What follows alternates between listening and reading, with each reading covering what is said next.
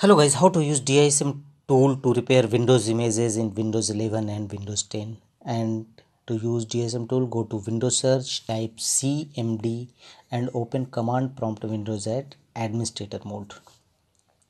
In command prompt windows you should enter the three command as shows shown on your screen. The first is DISM command with check health option to check health of your windows system windows 11 10 system execute the run the following command in command prompt window simply copy it and paste it after blinking cursor and press enter.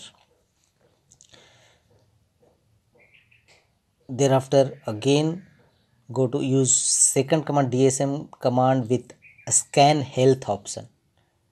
You run this command these are uh, all these commands will also available on this video's description box. You may copy from there.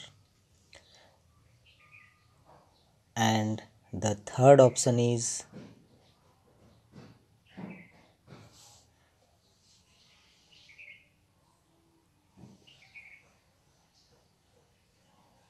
it will take some times and after successfully completed execute the third command dism command with restore health option.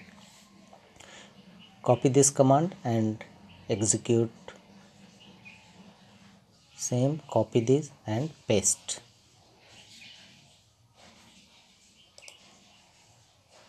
Deployment image servicing and management is a command line tool that allows administrator to prepare, modify and repair system images including Windows recovery environment.